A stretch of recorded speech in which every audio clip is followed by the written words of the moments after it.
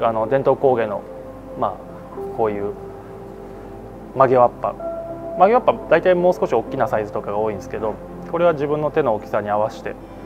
こうフルーツとかをこすために作ってもらってるものなんですけどもそういうのを使ってまあ日本のフルーツであったり現地のフルーツを